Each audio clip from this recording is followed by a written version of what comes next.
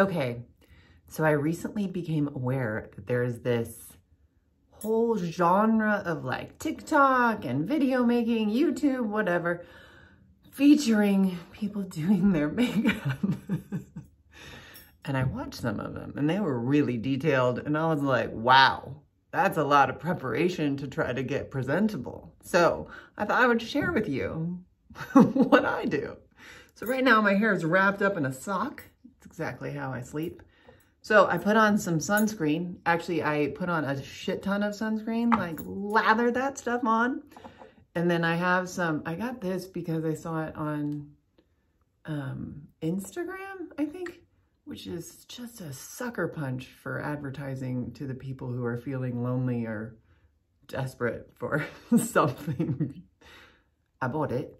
Um, I think you're supposed to rub it in differently, but I just kind of let it like trickle down my face like that. It's not my favorite, actually. I, I don't know, but it's kind of got a lot of sunscreen in it, so it goes on really white. And then, presumably, it sort of blends in eventually. But there's a lot of rubbing involved. there we go. And with a lot of patting, try to get it, because I have a lot of time that has kissed me. There we go. That's coming together. So rub that stuff in. There's a real face for you. I can't really tell much difference, but it's a lot more sunscreen. And for somebody who spends a lot of time outside, more sunscreen is good. Um, that's that. There you have it. And then step two, that's me in my mirror. That's weird. Um, there's red lipstick. I'm not sure what brand this is. I don't have my glasses on. I can't read it. Um, and it's just red. It's very red. Look at that. I don't put it on both lips because that would be too much red. I go like that. And then I go like this. And then look, I put it on here and voila, a rosy cheek. I put a little on here. Voila, they just sell these cheek sticks. And I'm like, dude, that's just lipstick. Um, and then I put a little right there. I put a little right there. And now I just have this sort of rosy complexion. And sometimes I put a little there so I look flushed. Like, oh, I'm recently in love. That's that. One of my, I think one of my goddaughters or one of my, my maybe my fashion savvy son, somebody told me about this. Something like a highlighter, I think. I've had it for like four years. I think you're supposed to throw shit away after that much time. Put a little right there, a little right there, a little right here. I put a little on there, a little there, a little there, a little there. Boom, boom. And if I have any extra, I put it on my décolletage. Oh, by the way, I put a shit ton of sunscreen down there too. And then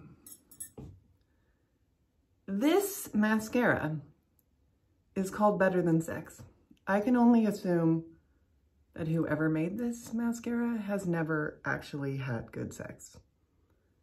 But nevertheless, it's mascara. I actually would not recommend it over dime store varieties because I don't really see a difference. But, you know, the beauty of age is that I can't see very well anyway. So it's like having a natural built-in Facetune of time where um, it blurs the lines. You just look sort of sideways at yourself and everything looks good. See all these gray bits? I look sideways at them, they just look like blonde highlights. Okay. Boom. Ready for the day. I think that's taken four minutes and it's been a lot of talking. Then I take my sock out of my hair, which is actually a sock. And you can see more of those beautiful highlighted gray bits. Pull it right out like this. We'll see what happens. Sometimes you look a little like Orphan Annie in the morning when you get going, but it sort of chills out. Sock coming out of the hair. Boom, boom. Ready for the day. What I've found, people, is that the most beautiful thing you can have is a smile.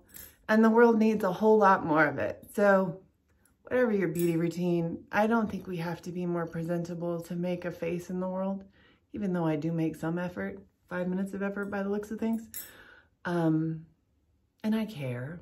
We all care. It's a humbling world out here where we're objectified and we're objectifying others. Um, I think a smile can make a big difference. Sending you all love. Stay curious and live with wonder.